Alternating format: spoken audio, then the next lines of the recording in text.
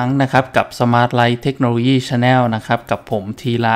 ผู้จัดการฝ่ายขายบริษัท Smart Light Technology นะครับซึ่งคลิปในวันนี้ก็คือ 3CX PBX Feature Episode 2นะครับซึ่งจะเป็นคลิปต่อเนื่องจากคราวที่แล้วที่เราออก episode หนึ่งเป็นต้นมาเนื่องจาก PBX Feature ของ 3Sec ค่อนข้างเยอะนะครับ ก็ยังไงเดี๋ยวเราไปรับชมเนื้อหากันได้เลยครับ ก่อนอื่นเหมือนเดิมทุกครั้งนะครับ ผมขอแนะนำเกี่ยวกับ Smart Light ก่อนนะครับ Smart Light เราเป็น T-Sec Titanium Partner ที่อยู่ในประเทศไทยนะฮะโดย 2 ปีที่ผ่านมาเราได้รับรางวัล T-Sec Partner อันดับหนึ่งของเอเชีย 2 ปีซ้อนนะครับ ซึ่งทำให้ลูกค้ามั่นใจได้ว่าหากมาใช้บริการ 3Sec กับ Smart Light เนี่ยท่านได้รับบริการจากทีมงานที่มีความเชี่ยวชาญนะครับเราไปต่อกันที่คุณสมบัติถัดมาแรกเลยนะครับอันที่ 1 ก็คือ Choose Shift Trunk นะฮะตัวนี้คืออะไรนะฮะอย่างที่เราทราบกันดีว่าพอ ใช้ตู้สาขาลักษณะที่เป็นซอฟต์แวร์นะฮะดังนั้นการเชื่อมต่อสื่อสารเนี่ยมันจะเป็นลักษณะผ่านอินเทอร์เน็ตนะฮะหรือที่เรียกว่า VoIP นะครับพอเป็นแบบนี้เราสามารถกำหนดการช่องทางในการโทรเข้าหรือโทรออกได้ค่อนข้างหลากหลายนะฮะแต่ว่าสำคัญน่าจะเป็นเรื่องของการโทรออกนะฮะที่จะเห็นผลชัดสุดเรื่องค่าใช้จ่าย เช่น เราอาจจะใช้ SIP trunk กับ TOT นะฮะในการรับรับสายที่ลูกค้าติดต่อเข้ามา แต่ตอนโทรออก อาจจะโทรในประเทศเราอาจจะใช้ TOT ราคาถูก โทรไปสิงคโปร์เราอาจจะใช้ provider ทางเลือกค่ายที่ 1 เราจะโทรไปประเทศจีน เราอาจจะใช้ provider ทางเลือกค่ายที่ 2 เพื่อโทรไปประเทศจีน หรือเราจะโทรไปอเมริกา เราอาจจะใช้ provider ทางเลือกที่ 3 ในการโทรไปอเมริกา เพื่อให้ค่าใช้จ่ายในการโทรออกประหยัดที่สุดนะฮะตัวนี้ก็จะเป็นคุณสมบัติของ choose 10ทั้งนะฮะถัดมานะครับก็เป็นเรื่อง inbuilt SBC for offsite phone นะครับ เนื่องจากการใช้งาน T-Sec กรณีที่มีการใช้งานต่างไซต์ หรือปัจจุบันก็คือเป็นการติดตั้ง T-Sec on cloud เนาะทีนี้เวลาการเชื่อมต่อ IP phone เนี่ยไปยังตัว T-Sec ที่เป็นระบบ cloud เนี่ยจำเป็นที่จะต้องมีตัวอุปกรณ์ตัวหนึ่งช่วยเพื่อความปลอดภัยด้วยเรียกว่า SBC นะครับ ซึ่ง SBC ตัวนี้จะเป็นซอฟต์แวร์เฉพาะอีกอันนึงนะฮะที่ 3Sec จัดหามาให้อยู่แล้วนะฮะวิธีการใช้งานเราอาจจะต้องติดตั้ง ลงบนเครื่องคอมพิวเตอร์นะฮะ ไม่ว่าจะเป็นคอมพิวเตอร์ PC โน้ตบุ๊กหรือว่า embedded คอมพิวเตอร์อย่างเช่น Raspberry Pi ก็ได้นะครับ ซึ่งปัจจุบันสามารถติดตั้งซอฟต์แวร์ SBC นี้ลงบนเครื่องโทรศัพท์แบบ IP phone รุ่นที่มีสเปคสูงๆนะฮะ ซึ่งเราจะเรียกว่า router phone นะครับ เราก็ใช้เครื่องโทรศัพท์ที่เป็น IP phone ปกติเนี่ยไป connect ผ่านตัว router phone หรือ IP phone ปกติ connect ผ่าน3 SBC เพื่อเชื่อมต่อไปยัง PBX server นะครับ ตรงนี้สามารถช่วยลักษณะเรื่องของการ ประหยัดแบนด์วิดต์ลงไปได้เยอะนะครับ โอเค ถัดมาเรื่อง BLF หรือ BC Lamp Field นะครับ ตัวนี้ถ้าใช้งานผ่านเครื่องโทรศัพท์แบบ IP phone เราก็จะมีใช้ BC Lamp Field ในในแง่ของการดูสถานะของคนที่เราจะไปโทรหาก็ได้นะครับว่าเอาเป็นเป็นเขาก็ติดสายอยู่หรือเปล่า หรือว่าคุยกับสายว่างไหมสะดวกที่เราจะโทรหาเขาได้หรือเปล่านะครับ จริงๆ แล้วตัว Busy Lamp สามารถกำหนดได้หลายประเภทนะฮะหนึ่งก็คือแสดงสถานะที่ผมแจ้งเมื่อสักครู่ทำเป็น speed dial ก็ได้นะฮะกดมันปุ่มโทรลัดนะฮะแล้วก็เป็นการเพิ่มสายในการโทร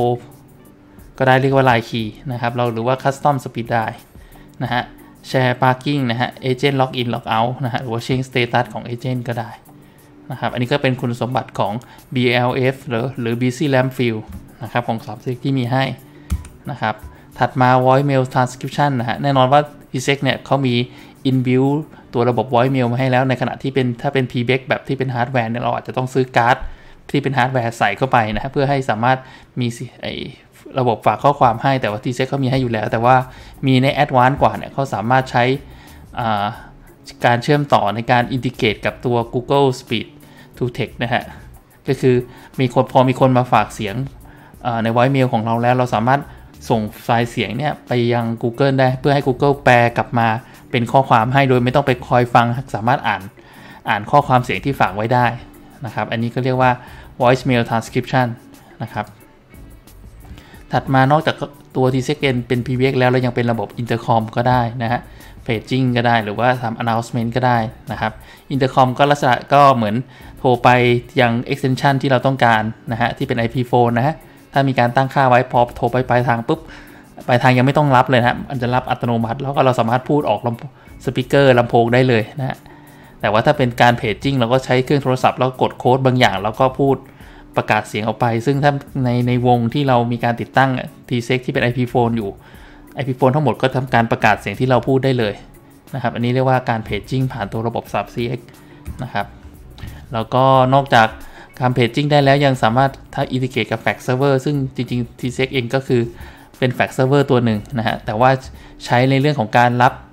แฟกมากกว่านะครับ เวลามีคนส่งแฟกเข้ามาเราสามารถกำหนดเบอร์ SIP trunk ที่โทรเข้ามาเนี่ยว่าเบอร์นี้เป็นเบอร์ SIP trunk หรือ extension นี้เป็น SIP trunk พอกดเบอร์ต่อไปปุ๊บ ตัว 3CX ก็จะสร้างสัญญาณรับเสียงแฟกให้อย่างปี๊ปกติถ้าเราส่งแฟกเนาะ เราก็จะพอหลังจากรับแฟกเสร็จก็จะแปลเป็น PDF ขึ้นมาให้เป็นไฟล์ PDF แล้วก็ส่งไปยังอีเมลที่เราตั้งค่าไว้นะครับให้เรียกว่า fax to email นะฮะ VMware Hyper-V KVM นะฮะ ตัวนี้เป็นคุณสมบัติที่ตัว 3CX เนี่ย เนื่องจากเป็นซอฟต์แวร์ เราสามารถเอาไปติดตั้งบนเเรียกว่าระบบ Virtualized Machine หรือว่า VM ก็ได้ ซึ่งค่ายที่นี่เราแนะนำในค่ายที่ใช้นิยมในปัจจุบันก็จะมี Hyper-V นะฮะ ของค่าย Microsoft แล้วก็ VMware หรือระบบ KVM อื่น ๆ ที่ในตระกูล Linux นะฮะ อันนี้เป็นคุณสมบัติโดยที่ว่า PBX เนี่ย เป็นซอฟต์แวร์จะทำแบบนี้ได้นะครับ แล้วก็สามารถ custom FDQN ได้นะ FDQN ย่อมาจาก fully qualified domain name นะฮะ เนื่องจากพอเป็น PBX เนี่ย เราเวลาเราใช้งาน เราสามารถใช้งานผ่านเว็บเบราว์เซอร์ได้ เว็บเบราว์เซอร์เนี่ย เราก็ต้องพิมพ์ตัว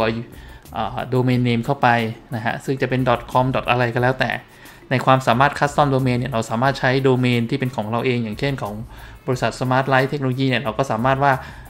ให้พิมพ์โดเมนของเราเองเช่น tsec.smartlighttech.co.th เพื่อจะเข้าใช้งาน 3cx ได้เป็นเรื่องของประโยชน์ของการทำแบรนดิ้งอะไรต่างๆ นะครับ ตรงนี้สามารถทำได้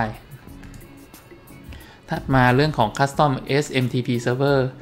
SMTP Server เนี่ยเป็นรูปแบบของการส่งอีเมลออกไป หรือว่าอีเมลออกไปเนี่ยซึ่งอีเมลเนี่ยอาจจะเป็นหลายๆอย่าง เช่น แจ้งเตือน miss call คือสายที่ไม่ได้รับ